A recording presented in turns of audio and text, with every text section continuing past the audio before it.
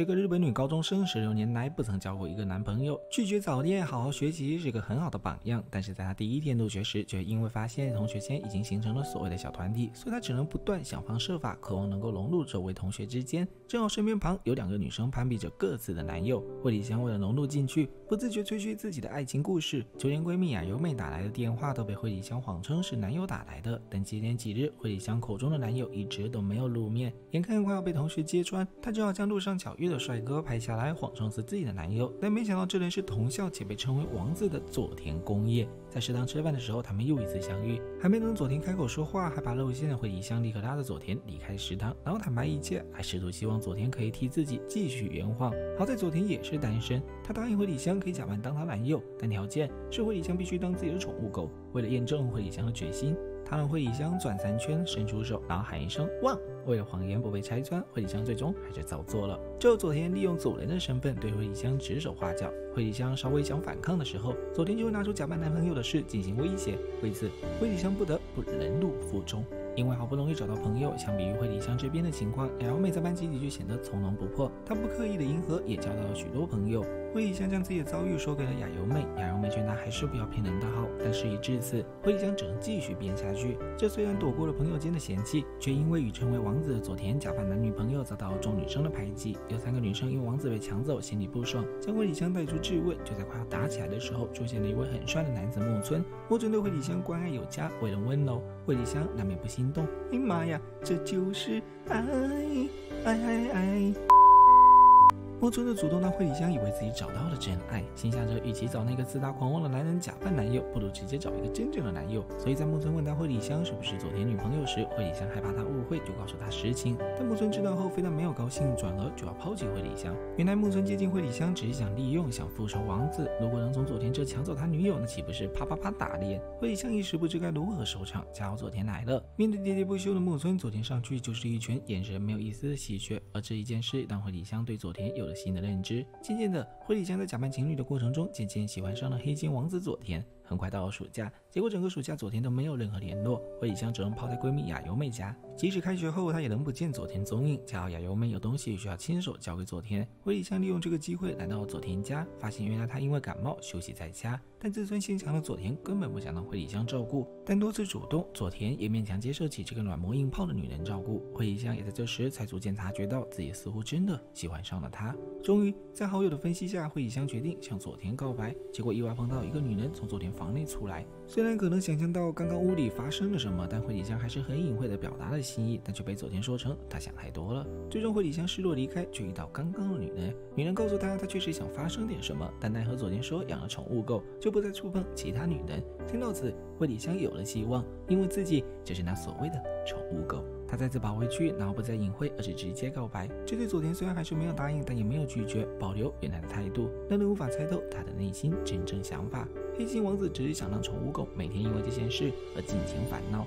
另一方面，惠里香意外认识了佐田的好友阿健，个性开朗、直爽，还有点脱线，但是是个热心的人。从初中到高中，一直都是佐田的朋友。听到惠里香的遭遇后，便决定要充当僚机身份，全力应援着惠里香和佐田的恋情，并出谋划策。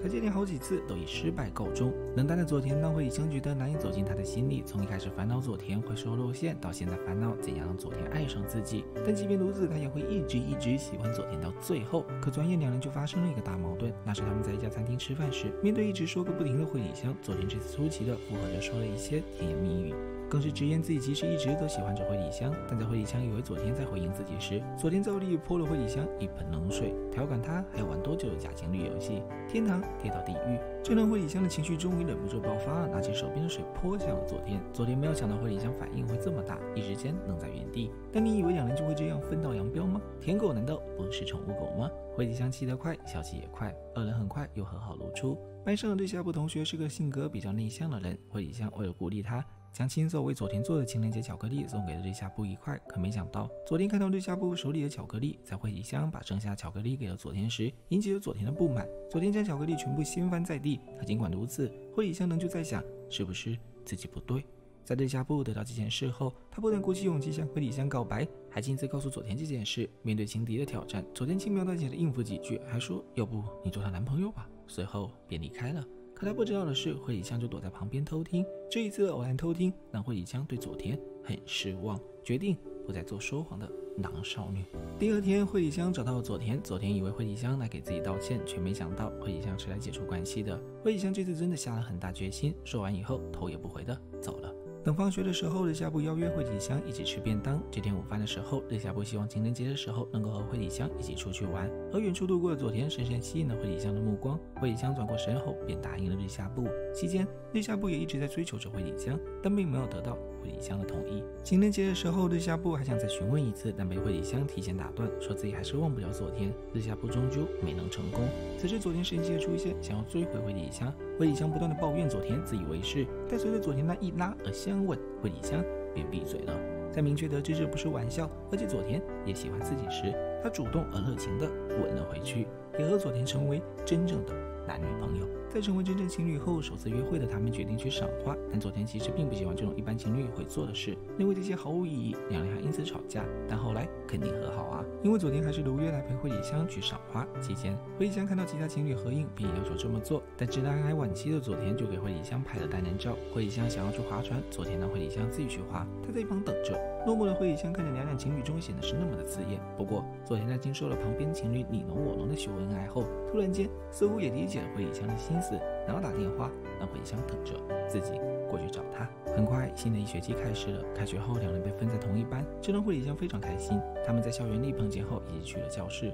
不料同班出现了一个花心男，叫神谷望。神谷以撩妹无数而感到自豪，是个喜欢到处留情的花花公子，认为女友多就是快乐。在樱花园内，曾经和佐田惠里香有过一面之缘。他断定长得同样帅气的佐田，肯定也是对其他女人玩玩而已。他站在教室门口，遇见女生就拦下问名字，只有说出名字后才会被放行。惠里香也没例外，一心想要证明佐田和自己是同类人的神谷开始对惠里香献殷勤。让他吃惊的是，心思单纯的惠里香对佐田倒是挺死心塌地的。但这并不代表佐田也是如此，于是他开始疯狂向佐田灌输“女人多才好”的思想，但佐田却压根不搭理他。后来一次出游活动，神谷抓住了机会，将他的计划付诸于行动。他们玩了一局叫做“谁是皇帝”的游戏，抽到皇帝标签的人可以让其他两人做任何事情。这次神谷从中作弊，自己抽到了皇帝，让佐田和另一个女生亲吻，结果佐田却表示抱歉，然后就退出了游戏。神谷认为很不可思议，这是多少男人想要的事情，佐田就这样拒绝了。在神谷的说辞中。帅哥就应该活用自己的优势去享受青春，早早的专一于一个人实在很浪费。随后还展示了自己有好几百个女孩好友的名单，但却被佐田一语道破：收集再多的垃圾，也只是垃圾堆而已。神谷脸上出现了不自然的表情，正好一个女孩走向了神谷，神谷想以此来安慰一下自己，却没想到女孩是来和神谷告别的，因为自己找到了真爱。神谷恭喜之后，将女孩的名字删除，并由此开始转变，因为似乎自己在玩弄别人感情的时候，自己也成了被玩弄的对象。在回学校后，佐田因为睡觉而晚下车，神谷却因为讲事情忘记了。在一同下车的时候，神谷对佐田说出了昨晚他说的话有道理，并将手机里的所有女孩的电话全部删除，因此也与佐田成为了好友。但这只是他自己单方面认为的啊。那在后来与佐田亲密的引起了同班腐女的 YY 以及惠里香的吃醋。不久后，惠里香的生日即将到来，惠里香提出自己想要爱，佐田对这个生日礼物毫无头绪，于是将这个问题抛给了阿健和神谷，他们两个倒是一拍即合。分析到这年头，有人想要爱而不是名牌包包的女孩可不多见呢，让佐田好好珍惜。佐田觉得这两个人不靠谱，就去找惠里香，但在门口却听到了惠里香说，只要佐田对自己说喜欢就好了，不需要什么其他礼物，甚至自己安排好了计划。佐田觉得这很简单呀，并决定对惠里香说：“我喜欢你。”但实际到了当天，他却迟迟说不出口，尝试了很多次，只要张口后就会变成其他的话。一天的约会也即将结束了，可在送惠里香回去的时候，遇到一辆飞驰的车。昨天拉了惠里香一把，摄影师也在耳边轻声说出了：“我喜欢你。”惠里香又惊又喜，第一次觉得自己的生日如此特别，如此甜美。后来，惠里香和佐田雅由妹神谷在路上巧遇了佐田的姐姐莲香。惠里香还自我介绍自己是佐田的女友。经莲香提议可以一起到神户见一下佐田母亲，于是，一行人来到了神户，也见到温文尔雅的佐田母亲。母亲很热情地招待惠里香，佐田却对自己的母亲很冷淡。晚饭后就回到自己的房间，母亲也丝毫没有怪罪他。在收拾碗筷的时候，得知了佐田家的过往，因为佐田父母在佐田很小的时候就分居了，因此给佐田造成了不小的打击，以至于封闭自己的心门，谁？也无法走进佐田的心里。也知道他母亲似乎对佐田如此不相信爱情一事感到自责。惠里香这才明白这一家人的反常，以及岩香之前很难相信自己弟弟竟然会爱上女生这一件事。于是惠里香决定改善佐田和他母亲的关系。第二天，惠里香和佐田与莲香一起去看烟火大会，趁机溜走，打电话给佐田母亲，说佐田和莲香打架了，除非他来，否则无法拉开二人。听到这些，本不想让儿子厌烦自己的母亲，匆匆来到了烟火会，但没想到惠里香在打完电话后，竟弄丢了佐田送她的珍贵项链。佐田见到母亲的到来，明白了什么，但是却迟迟不见惠里香回来。母亲也不顾得礼貌问题，开始在烟火会上大声呼喊惠里香。而佐田透过人群，却看到正在刨垃圾堆的惠里香。继而得知惠里香丢了项链，佐田二话没说，一起和惠里香翻找。天上的烟花炸开了花，亮光照亮了垃圾堆。母亲在垃圾堆的角落中找到了项链，但也因此错过了烟火会。不过在第二天就要离开时，佐田主动找到母亲，为昨晚道谢，并答应以后会经常找神仙回来看看。这是二零一四年的神奇动画《狼少女与黑王子》，很标准的少女漫，很标准的言情小说套路。每次看完这动画，我就很纳闷，为什么要跟这种打一百巴掌后再给一颗甜枣的人在一起？明明只给甜枣还不打巴掌的人多了去。但仔细思考后，我明白了，我顿悟了，帅才是重点。但玩笑归玩笑，其实爱情就是这样，有时候没办法说出个所以然，而且受伤虽然不是一件好事，但真正的爱情是向往未来。如果未来的日子能够幸福，相信很多女孩都愿意朝幸福奔赴而去。另外，在番外剧情上又出现一小段很搞笑的乌龙：佐田因为踩到了棍子摔倒了，而亲到了惠里香闺蜜，想要解释佐田，却被惠里香说：“哎呀，我不在意的啦，没事的啦。”但之后几天就一直要死不活的状态。不过在佐田一吻后还是冷静下来，但闺蜜那一吻是真的吻了。男朋友和好朋友接吻了，我一点都不介意。我是少年，又迷人又可爱的九七年男孩。如果喜欢我的解说，请点个关注，能不能给我视频点赞转发支持一下？这对我真的很重要，拜托拜托。